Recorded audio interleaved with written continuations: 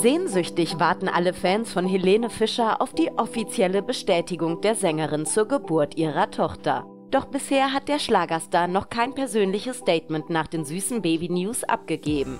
Umso überraschender kommt nun Helenes erster Instagram-Post. Doch dieser fällt ganz anders aus als von den Fans erhofft. Statt persönlicher Worte als frisch gebackene Mama postet Helene lediglich eine Ankündigung zu ihrem neuen Projekt. Jetzt oder nie wird der offizielle ARD-Olympiasong sein. Doch die Fans sind von dem Beitrag alles andere als begeistert. Unter dem Post häufen sich die Kommentare der Fans, die sich von der Neumama eine persönliche Botschaft gewünscht hätten. Team Helene, also wieder kein persönlicher Beitrag von Helene? Naja, ich finde es schade und das ist nur meine Meinung, postet eine Userin.